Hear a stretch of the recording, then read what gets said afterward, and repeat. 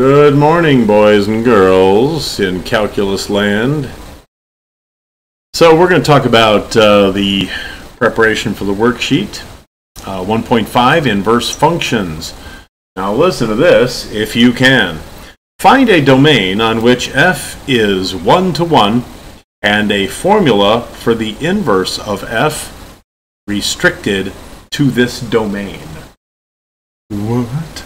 Okay, so let me kind of give you an idea what they're talking about. First of all, the domain on which f is 1 to 1 just means the domain on which it is a function.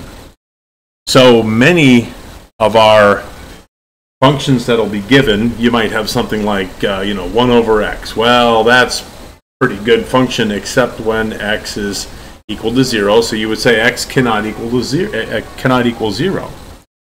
Um, think about the vertical line test. If you had, you know, uh, an equation that gave you something like this, this would not be, you know, one to one because it fails the vertical line test.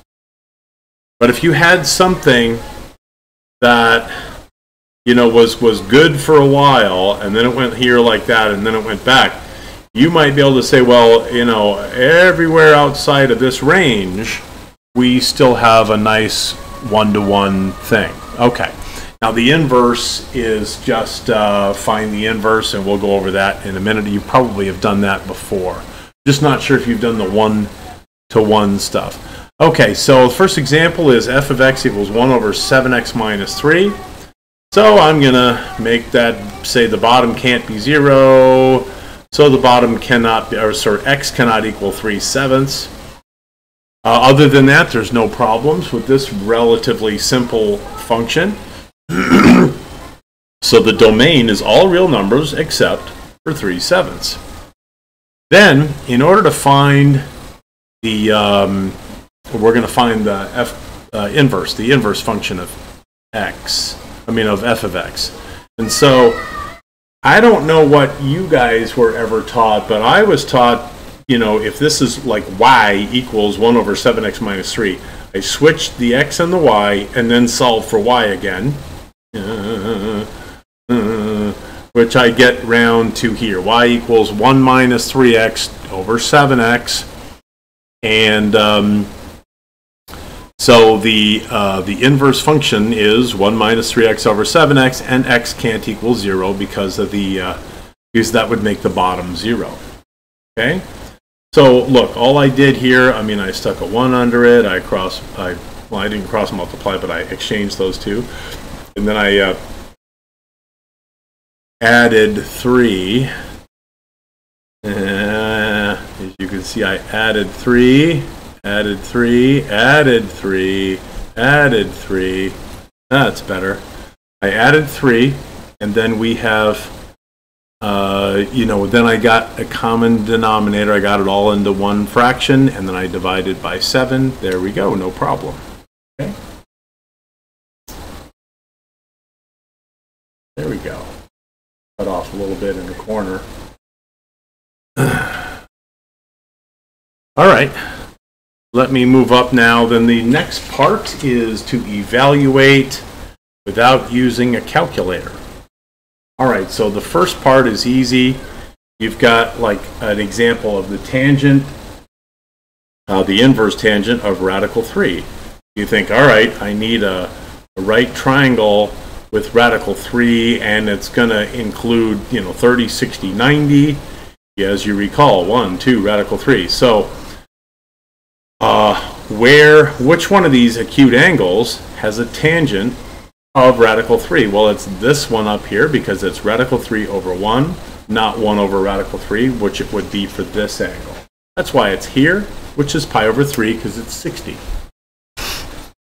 all right if they give you one like this, which there is one like this, where it, it could be inverse tangent and tangent or inverse cosine and cosine or whatever, but it's the same thing. They cancel each other out. You just get pi over 3. Please note if the angle here was more than 2 pi, you would subtract 2 pi from that to get it back into the world of uh, between 0 and 2 pi. Now this one here is our last example. and I have to show you how to do this one.